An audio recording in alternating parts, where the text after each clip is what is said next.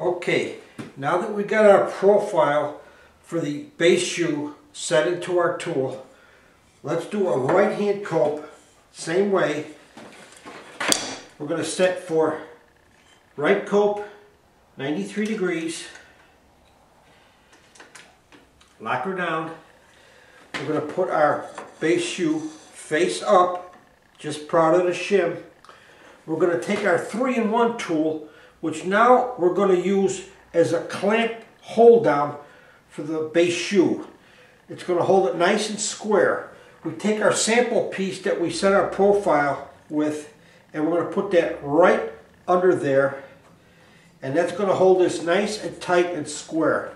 And it's the one time you could probably use a clamp which would serve you best because you want to get deep in here where you put some pressure on this backside over here because you're actually dividing between two points here.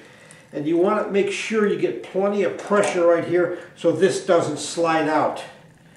Okay.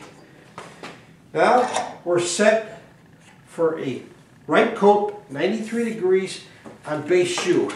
And this only takes a second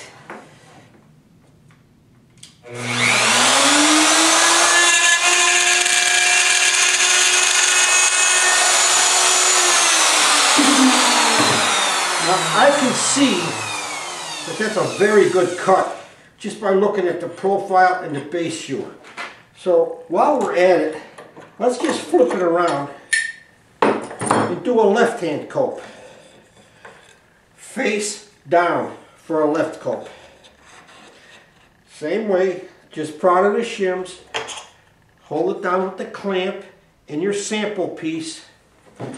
We'll pop the clamp on and try to exert some good pressure back here so our workpiece doesn't slide on us. And that's nice and solid. Once again, our anti-tear fixture is set just behind that last shim. All right, let's do a left-hand cope. But remember, we have to adjust for a left cope. 93 degrees, left cope. Okay, let's make our cut.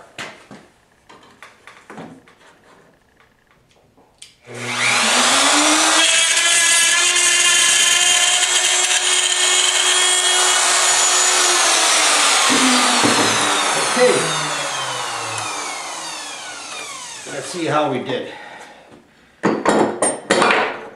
It's that fast to switch from left to right. Now, when you're doing base shoe, you're going to get very paper thin up here. So you might want to just take your thumb and just crack some of that off on both sides. You don't want to leave that really paper thin stuff on top. Okay, let's see how we did first with our right hand cope. Absolutely perfect. And let's switch it over, see how we get with our left hand.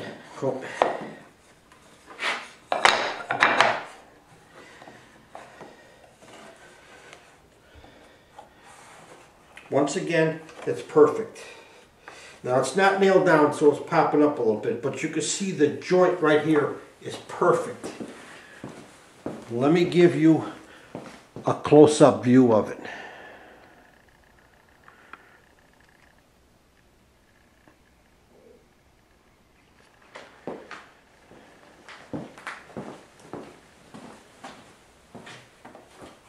You can see that's a perfect matched pair.